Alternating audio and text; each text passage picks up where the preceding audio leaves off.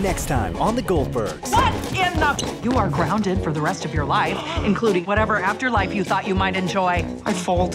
Thursday at 11.